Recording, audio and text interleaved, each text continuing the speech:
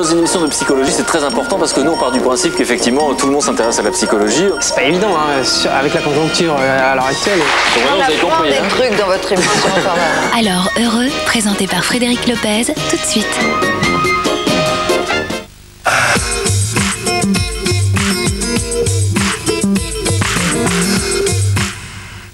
RTL2 présente Santana avec Corazon Espinado, le nouveau tube de Santana.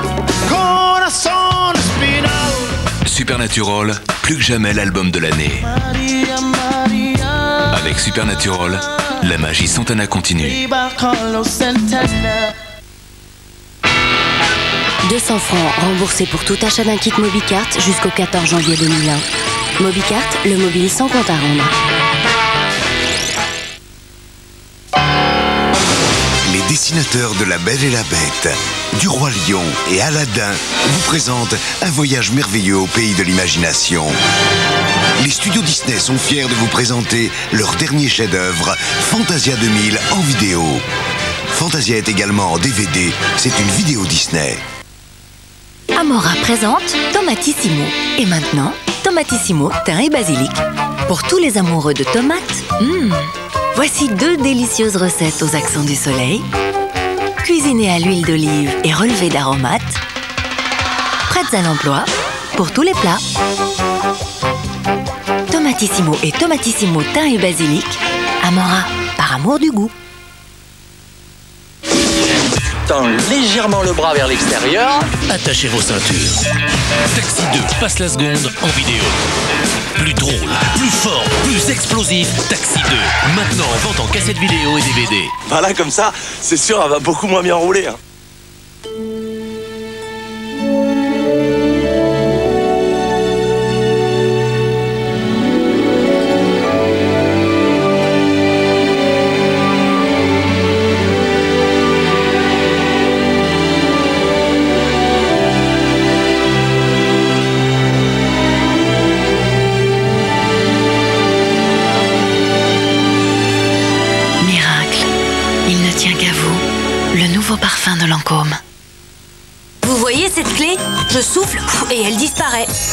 Tu fais ça? J'ai un truc. J'aime la magie, le numéro 1, la vidéo, les cartes magiques et le fascicule, 15 francs seulement chez ton marchand de journaux. Les marraines Oléron sont les seules huîtres au monde dont la qualité est certifiée par un label rouge, et même par deux labels rouges, qu'on se le dise. Nathalie Dessay, héroïne de Mozart. Toute la virtuosité des plus grands airs de Mozart, par une voix extraordinaire. Nathalie Dessay, une reine pour Mozart. Saluez l'honorable société. Sans famille en coffret vidéo. Partagez la complicité du jeune Rémi et du vieux musicien vagabond, Signor Vitalis. Qui ment à qui? Le grand classique d'Hector Malot avec Pierre Richard. Il prend soin de toi, l'artiste. Sans famille, un coffret de deux cassettes vidéo avec RFM.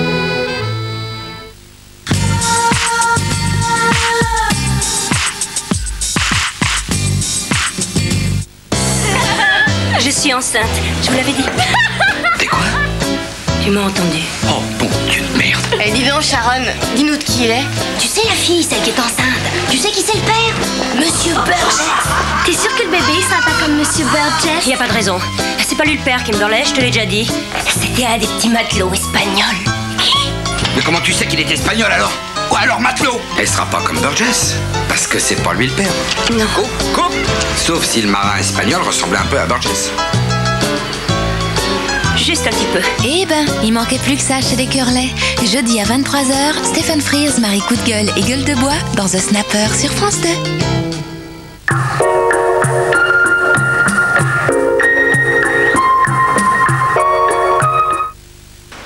Madame, s'il vous plaît, que pensez-vous des marques? Ah, moi, les marques, j'y tiens beaucoup. Les marques, elles nous marquent.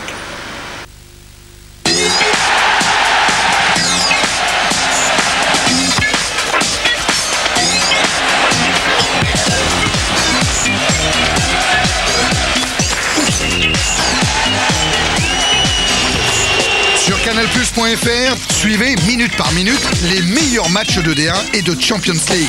Dialoguez en exclusivité avec les plus grands joueurs. Au foot, l'action est sur le terrain et aussi sur Internet. Canalplus.fr, il y a une vie sur le web. Excusez-moi une seconde, que pensez-vous des marques Les marques, la vie serait triste sans elles. Les marques, elles nous marquent. Ah, c'est dommage que tu sois pressé, là on se voit toujours en coup de vent. Eh bah quand il y aura plus de vent, je te ferai signe. Ah bah c'est bien ça, je vais tester mon numéro de portable. T'as pas un email plutôt Un email Ah, des emails Ah bah si, j'en ai plein des emails. Je les ai tous laissés à la maison. Ah, je vais en avoir une sur moi, attends. Bonjour.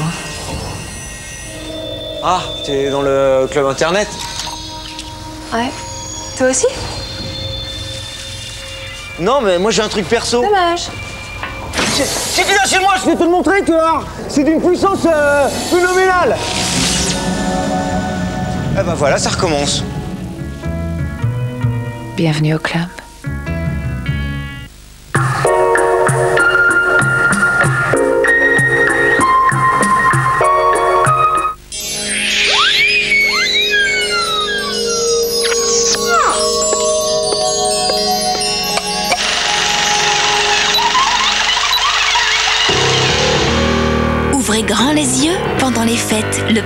Vous offre une avalanche de films. Que j'ai peur J'en ai la paire de canards Ah, de battre S'amuser ici, c'est un ordre Qu'est-ce qu'on se bat Vous devriez faire un petit peu de ménage hein, si vous attendez du monde.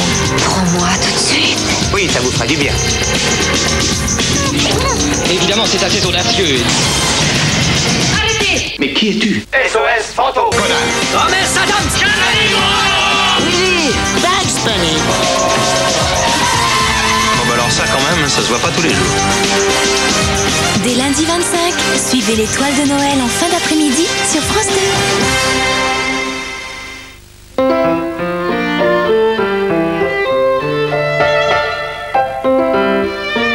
Toujours aimé la France, donc elle fait partie de ma, de ma vie, ça fait partie de mon quotidien, parce qu'un photographe, ça a du temps, ça a des. Ça des, je pense qu'il est bien là où il se sent bien, et je me suis toujours senti bien en France, et j'ai eu envie de ramener en fait les matières, les, couleurs, les, odeurs qui me paraissaient être celles euh, qui, qui mon quotidien, et celles que j'avais envie de découvrir parce que je les connaissais pas, et de, faire de tout ça un livre très personnel sur un sujet que j'aimais beaucoup, qui est quand même très varié. En vert, en bleu, de toutes les couleurs ou en noir et blanc. Un regard qui se pose, respire, palpite et repart toujours curieux. Pour une connaissance plus intime. France de Thierry Desouches, un beau livre choisi pour vous par France 2 aujourd'hui.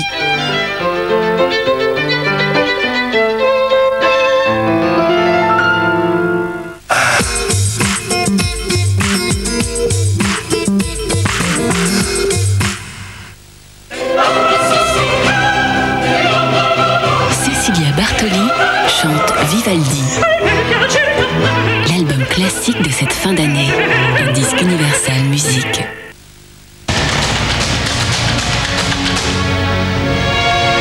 Tout le caractère des chevaliers de Montfort.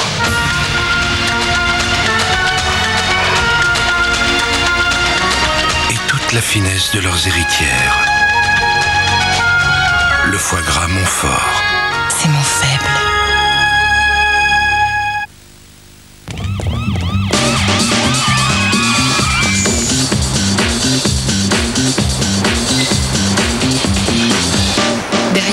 Film, il y a tout le cinéma. Sur canalplus.fr, dialoguez en exclusivité avec les stars. Les coulisses du cinéma sont aussi sur Internet. Canalplus.fr, il y a une vie sur le web. Pink Martini. Je ne veux pas travailler Découvrez maintenant leur nouveau titre, Amado Mio.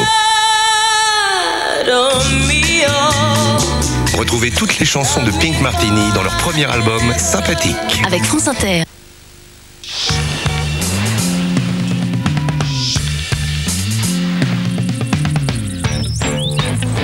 Plus rapide, plus fiable, de plus grande qualité, plus rentable. Nortel Networks est en train de construire un nouvel Internet à haute performance pour que chacun puisse en faire exactement ce qu'il en attend. Et vous, qu'attendez-vous d'Internet? Come together right now over me. RTL2 présente Téléphone, le best-of.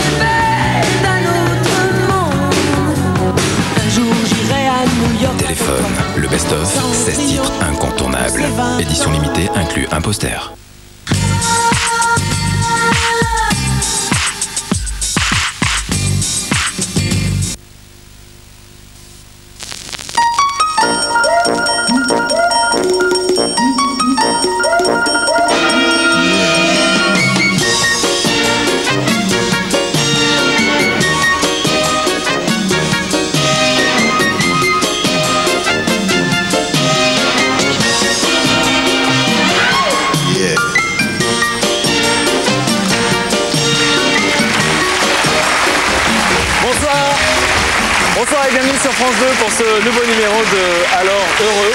Dans cette émission consacrée à la psychologie, vous allez découvrir des femmes et des hommes qui nous ressemblent, des gens ordinaires à qui il arrive des choses extraordinaires, c'est ce que dit Steven Spielberg.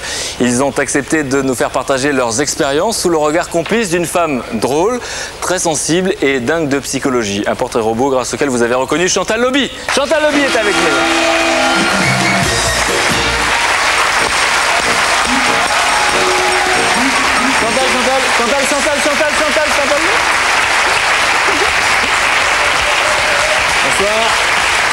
La bise. Hyper content d'être ici. Voilà. Bon, en plus, je sais que c'est sincère. Et on va parler effectivement de psychologie. Je sais que ça vous intéresse. Ouais, et euh, je rappelle aux téléspectateurs qu'on peut vous voir au cinéma depuis la semaine dernière et que ça démarre bien. Mhm. Anti sur scène, hein, c'est euh, Le premier film de Pascal Légitimus. Légitimus. Et puis Voilà. également pour euh, nos belles-mères qui ne savent pas cuisiner, une cassette Pascal Légitimus aussi, mais une cassette vidéo avec des garçons un peu déshabillés qui font la cuisine. C'est vous qui l'avez réalisé. ça s'appelle Les Kitchen Days. Ah Ça a bon. bien démarré aussi, comme quoi les dames aiment bien aussi voir des beaux garçons en cuisine. Comme quoi Comme quoi. Alors je vous propose de, de voir ce qui va vous arriver. Vous allez vous regarder en train d'écouter des gens très intéressants puisqu'on va s'intéresser à la psychologie des jumeaux avec euh, David et Denis, deux frères euh, maîtres nageurs. Ils cultivent leur ressemblance à l'extrême, même look, même profession, même passion. Quant à Isabelle et Béatrice, elles sont toutes les deux sportives de haut niveau et contrairement à David et Denis, elles ne supportent pas de se toucher. Elles se sont embrassées une seule fois dans leur vie. C'est vrai? Ouais. Ah, c'est fou ça, j'adore. Voilà. Et puis nous nous pencherons également sur la psychologie des serial killers. Nous aurons euh, sur le plateau le premier profiler de la police française. Cet homme est psychologue, il travaille dans la police et il doit établir le portrait euh, psychologique des tueurs en série. Et puis vous découvrirez comment les sectes recrutent leurs adeptes. Vous verrez les premiers pas de Christelle Parlanti chez les scientologues euh, qui proposent, vous savez, pour pas mal d'argent, des solutions plus ou moins miraculeuses pour euh, répondre à tous nos problèmes psychologiques. Enfin, euh, Chantal, tout à l'heure, puisque vous aimez la psychologie, vous allez vous prêter à des exercices de psychologie appliqués, notamment, regardez, le jeu de rôle, hein, qui est plutôt sympathique, qui a été préparé par notre psy. Alors, euh, rassurez-vous, il est adorable, notre psy. D'ailleurs, je vous le présente illico presto. Il est accompagné de Christelle Parlanti. Christophe André, Christelle Parlanti.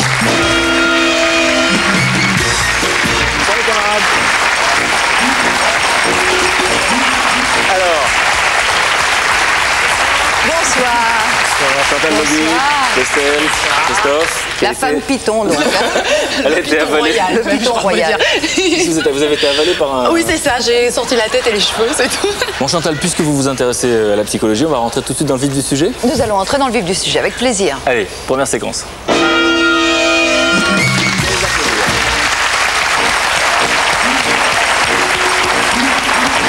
Alors les jumeaux sont de plus en plus nombreux dans le monde. Euh, les procréations médicalement assistées provoquent l'augmentation des naissances multiples. C'est pour ça qu'on voit beaucoup de landaux hein, avec des, des biplaces. Euh, et pourtant, si le phénomène est devenu courant, il est loin euh, d'être banal. Euh, c'est vrai, en fait, hein, la vision de deux êtres identiques reste fascinante. Je sais pas ce que vous en J'ai- pensez. C'est-à-dire, j'ai l'impression d'être bourré, là. je les regarde, j'en vois deux, je vois double. Qui est Denis, qui est David Il faudrait peut-être régler cette Alors affaire. bon, on répond aux deux noms. hein. Moi, vous dites Denis. Vous répondez aux deux noms Moi, c'est David, mais enfin, si j'entends Denis, je me retourne, il n'y a pas de problème. Donc ça va très très loin. Alors il faut expliquer que vous, c'est un peu compliqué parce que vous habitez Troyes, vous travaillez à Paris. Est-ce qu'on peut expliquer pourquoi en fait vous travaillez là? Vous êtes maître nageur. Pour pouvoir travailler ensemble, on a fait l'effort de monter sur Paris. Donc vous avez trouvé en fait une piscine qui vous a accepté. Vous avez le même emploi du temps, les mêmes pauses.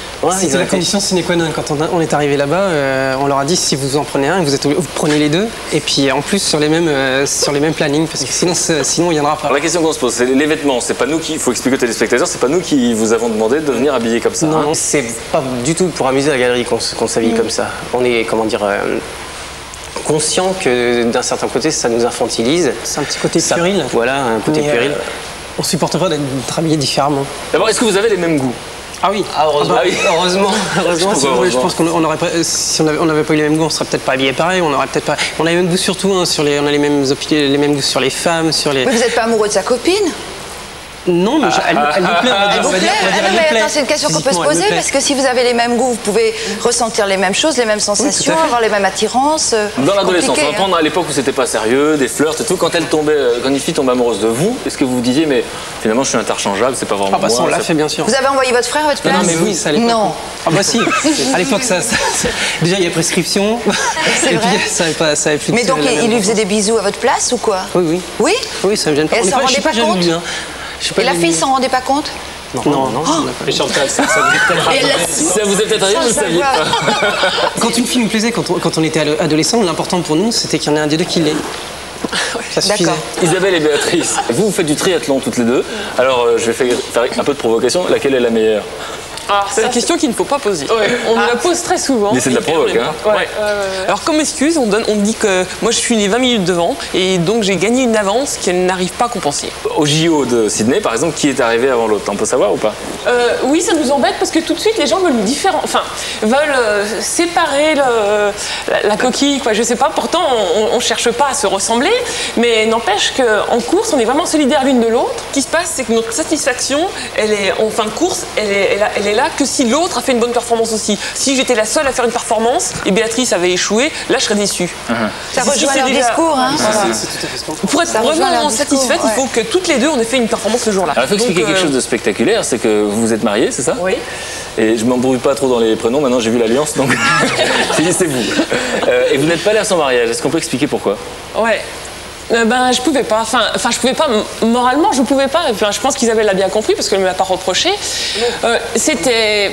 Enfin, je vais pas dire que c'était un divorce parce que j'apprécie euh, euh, l'époux d'Isabelle. C'est un mec très très bien. Que vous auriez pu aimer?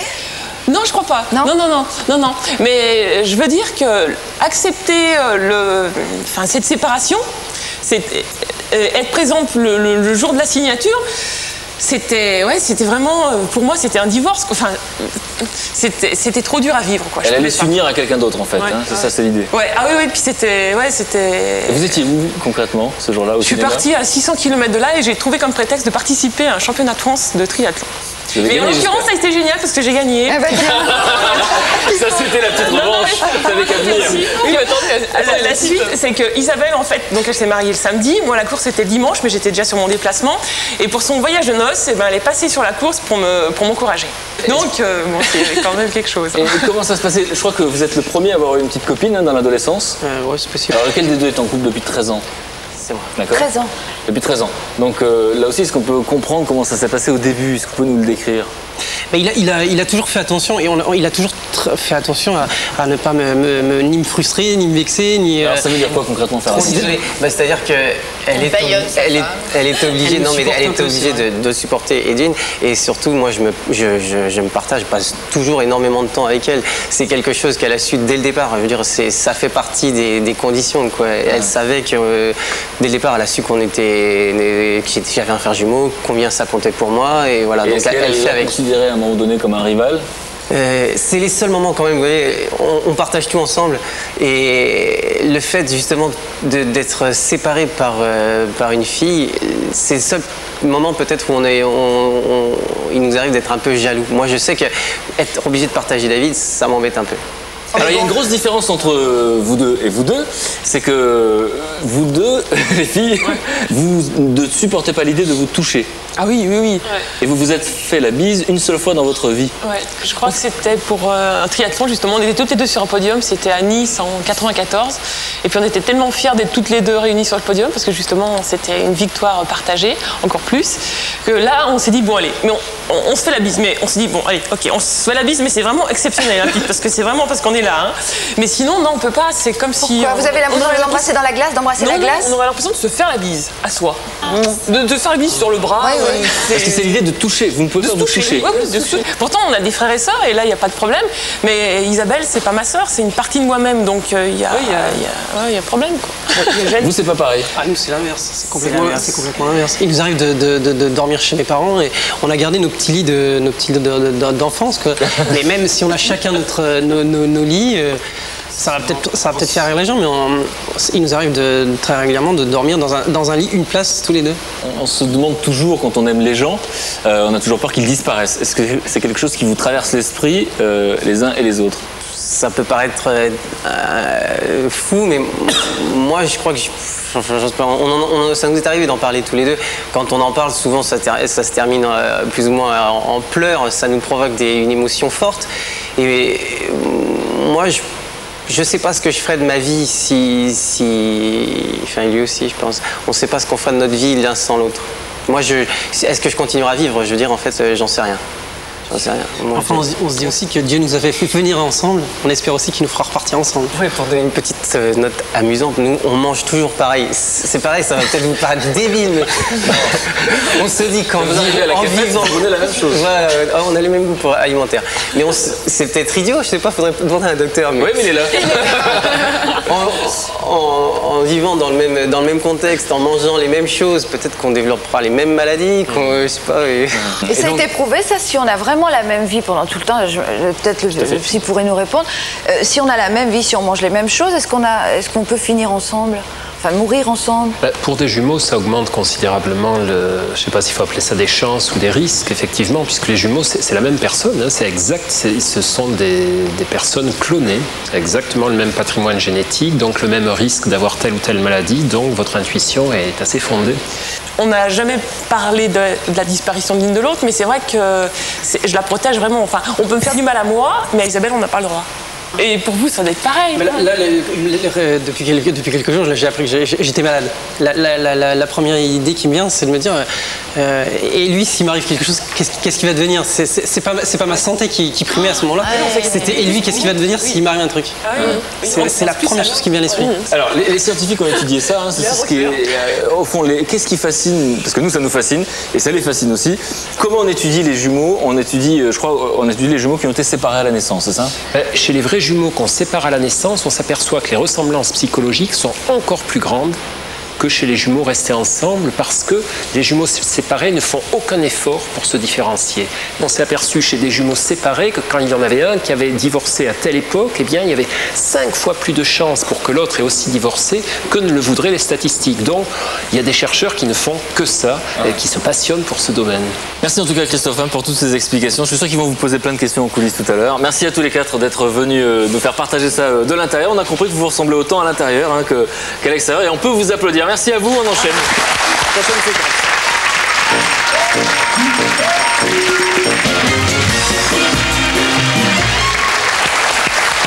Alors la prochaine séquence euh, vous concerne directement. Euh, bah oui Chantal.